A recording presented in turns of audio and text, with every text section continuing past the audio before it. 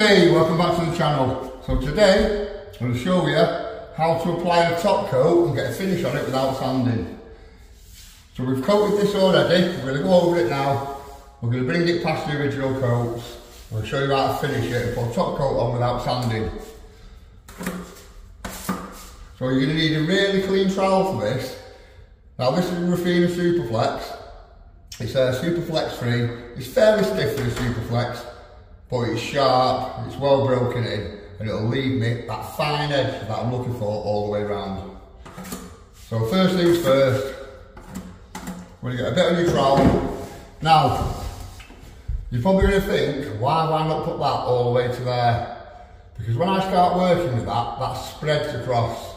So if I put too much at this end, it'll literally fall off. So I'll show you now how I do it. So, I'm gonna go start past my original. I'm going to go fairly flat to the wall, bring it up, I'm going to turn the trowel on edge and bring it back across. So we're leaving them edges nice and fine. So again, you can see that's already starting to spread. Now, this will be my working edge, this will be my finished edge as I'm working. And as I'm coming along, the back edge of the trowel will keep the wet. So I'll show you what I mean now. So we're going to go, come on. There's the trowel off. I've still got a wet edge there, but I've brought that in now. So again, a bit more on the trowel, bring it up and across.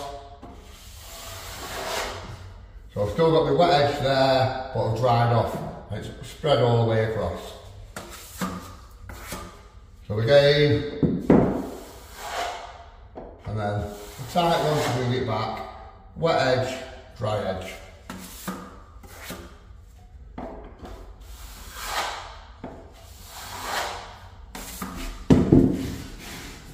Okay, we'll do our final pass here now, and I'll get a little finish on that without sanding.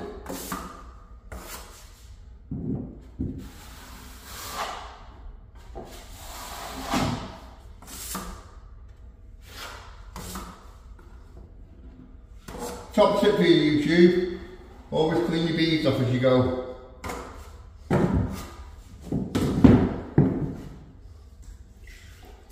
Okay, so I've got a sponge float, bit of moisture on it.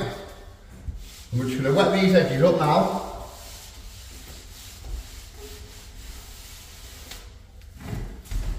Get rid of that moisture off the wall.